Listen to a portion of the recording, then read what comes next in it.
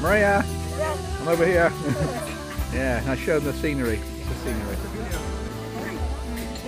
Ang atong juice